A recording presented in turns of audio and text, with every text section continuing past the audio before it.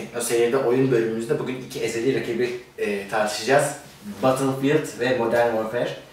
Çünkü yeni oyunları geliyor Evet. yolda ve son çıkan haberlere göre ikisi kafa kafaya aynı tarihte çıkacakmış. Artık bilerek mi denk getirdiler, tabii. bir de- tesadüf mü? Çünkü uzun zamandır aralarında atışıyor zaten firmalar. Uzun zamandır atışıyorlar ve geçen yıl, ondan önceki yıl, yani son iki yılda alevlendi bu rekabet iyice. EA başlattı bunu daha çok. EA ne yaptı? Modern Warfare 2 çıktıktan sonra tabii FPS dünyasını bir yerle bir etti önce. Zirveye oturdu. Herkesin bir anda rakibi oldu Modern Warfare 2. EA Medal of Honor'ı duyurdu. Duyurmuştu öncesinde. Ee, Daha sonra Battlefield Bad Company 2'yi duy- e, duyurmuştu zaten onu da gündeme getirmeye çalıştı. Sürekli olarak Modern Warfare 2'ye sataştı. Biz devireceğiz, işte Bad Company 2 daha iyi olacak, Medal of Honor daha iyi olacak. Sadece Battlefield üzerinden değil de Medal of Honor üzerinden de götürdüler savaşı. Öyle olmadı.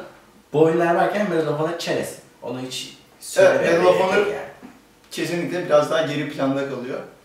Ee, Modern Şimdi Warfare 2'ye göre özellikle. tek tek o zaman başlayalım. Battlefield 3 2'ye göre ne getirecek? Şimdi Battlefield 3, Bad Company 2 ile bir alakası yok. Evet yok. Bad- Battlefield 2'nin devamı İkinin olarak devamı. yine modern zamanlar. Zaten bu, bu niye önemli bu bilgi? 2'den sonra yani bu geliştirildi. Bu da paralelde gelişiyordu. Evet, bir anda evet, Bad. Company çıkmıştı ama paralelde 3 geliştirilmeye Evet. devam ediliyordu. Ee, şöyle ki bir kere sadece bu oyun için e, Digital Illusions yeni bir motor geliştirmiş. Frostbite'la geliştiriyordu Battlefield'ları.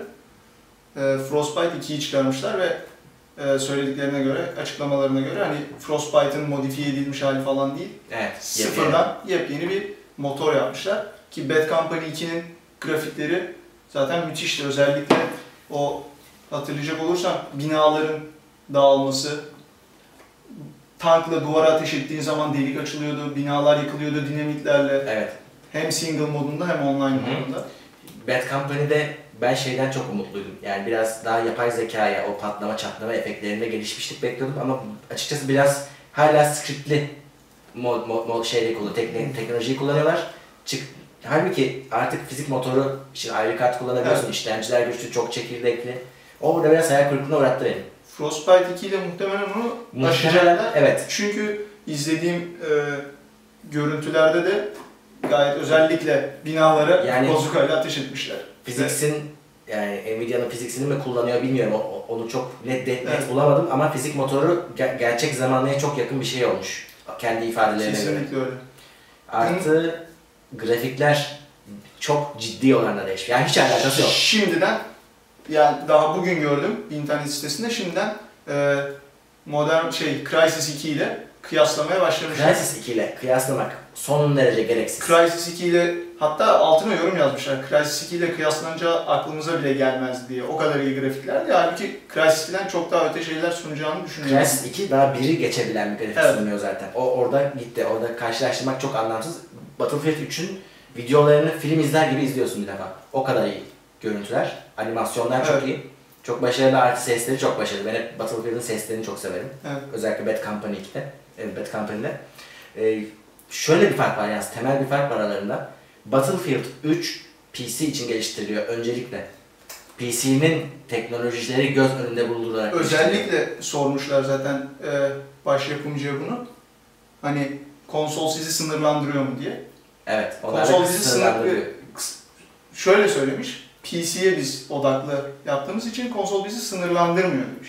Ha şöyle, onlar Daha sonradan düzenleyebiliyorlarmış konsol için. tabii şöyle, oradaki açıklama şu, konsola yaptığın zaman bir oyunu, Evet. onu sonra PC'ye aktar, aktardığın zaman O- olduğu gibi aktarıyorlar genelde, hiç uğraşmıyorlar. Şimdi öyle değil. Battlefield 3 PC'de geliştiriliyor, bir defa bu çok önemli. PC donanımlarıyla geliştiriliyor. Sonra aktarılıyor. Yani aş yukarıdan aşağı doğru bir gidiş olacak. Böyle bir şeydeki konsoldakiler tabii ki kıs- kısıtlamayacak. Ama oyunun kendisi daha kötü gözükecek. Evet. Şu andaki bizim derdimiz nedir konsol portlarında? Adam olduğu gibi port ediyor PC'ye. Senin bilgisayarının hiçbir özelliği kullanılmıyor. Platform, görüntü olarak. Evet, Aynen. neredeyse biraz işte bizim yüksek çözünürlük avantajımız kalıyor falan filan.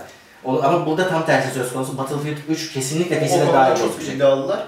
Ee, Activision açısından bakarsak olaya onlar Son zamanlarda, ya geç, geçtiğimiz yıl Infinity Ward'un dağılmasıyla birlikte biraz zorlu süreçten geçtiler. E, Call of Duty Black Ops'u Treyarch yaptı. Çok da beğenilmedi.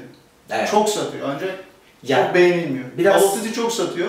Battlefield'a göre de çok satıyor. yanını çıkarmaya çalıştılar. Kullanıcıların tepkisini çekti. Evet. Hatırlarsan öteki oyunlarda dedicated server olayı var. Yani ben seninle birlikte bir server alıyordum. Evet. Arkadaşlarımla birlikte hilesiz surdasız oynuyordum. Şimdi Modern o, o kalmadı. Evet. Yani gidiyorsun Y serverında oynamak zorundasın. Artı biz Türkiye'den server belki ayarlayabiliyorduk bu işler için. Şimdi o da kalmadı. Hep Ve- yurt dışı. Tepki çeken diğer noktaları da onların grafikler. Aynı işte. Warfare'den beri sürekli. Daha çıktığı zaman daha kötüydü performans olarak. Ve evet Black Ops'ta da zaten birçok oyuncu optimizasyon Çok takılma, kasma optimizasyon sorunları sorunları. yaşadı. Ee, yine aynı motorla geliştireceklermiş. Infinity Ward 4 ile. Yani eğer öyleyse Battlefield 3 daha şimdiden söyleyebiliriz. Kesinlikle daha üstün grafiklere sahip. Zaten e, yanı, ya Infinity Ward'un ya Activision'ın basın sözcüsü e, Twitter'ında Twitter hesabında yorum yapmış. Hani biraz daha para harcayın da yeni grafik motoruyla yapın şunu İşte ama zorluk orada. Sıfırdan yapman gerekiyor. Yapımcılar da o cevabı vermişler. Biz e, üretkenliği durdurur bu demiş. E, E, satan- yeni motoru yapmak biraz Satan daha bir oyunu niye başlayacaksın Evet. ki? Adamların zihniyeti o. Yani zaten satıyoruz biz. Bak şeyde Steam'de Battlefield'ın fiyatları ne kadar düştü. Evet. Ama Modern Warfare'la ilk çıktığı Aynı bir şey fiyat. yapılıyor. Gerek yok o zaman da. Hakikaten onların açısından düşünürsen gerek yok. Satan oyuna dokunmayacaksın. Battlefield 2 ama tam tersi. Ee, grafikleri çok eski. Çıktığı zaman da çok ciddi performans gerektiren bir makine, Evet. veren makine gerektiriyordu. O konuda çok şanssızdı Battlefield. Kesinlikle. 3'te bunu toparlayacaklar gibi gözüküyor. 3'te ve Battlefield'ın bir eksik noktası da biraz şeydi. Sunumu iyi yapamıyorlardı. Hı. Single modunda genelde Call of Duty daha çok beğenilir çünkü sunuşu iyi yapamıyorlar. Modern Warfare'in mesela müziklerini Hans Zimmer yapıyordu yani. O derece dikkate alıyorlardı. Ee, Battlefield'da bu sefer e, senaryoya da önem verecekler ve Tahran'da, Paris'te ve New York'ta geçecekmiş bölümler. Ee, biraz ilgi çekici bir kurgu oldu sanırım. Açıkçası ben single player'ını oynadım. Şeyinde. Battlefield. İkisinin de oynamadım. Ben direkt multiye giren tiplerdenim. Multi'de de aslında birbirlerinden çok farklı. Farkları yok ama şöyle, e, farkları yok derken farkları şöyle bir yönte, e, tarzları farklı. Modern Warfare'de çok böyle e, kim kime dumdum Paldır. durumu var.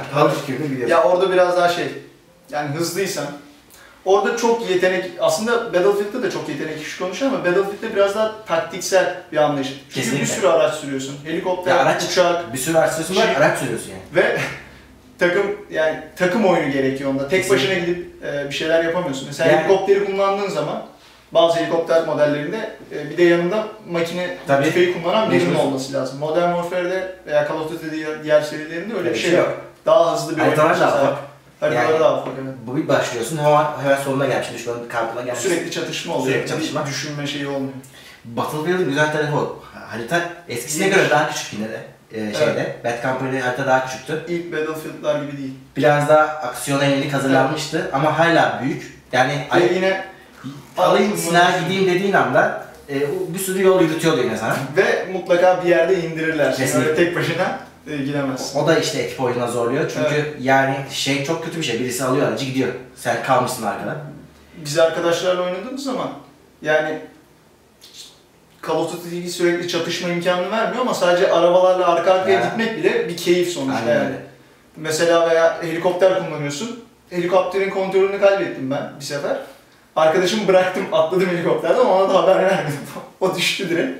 Yani böyle eğlenceli dakikalar da sunuyor Battlefield sürekli çatışma sunmasa da. Yani ikisi de aynı anda çıkacak. Benim ben hangisini alacağım? Direkt Battlefield 3'e gidiyorum elim.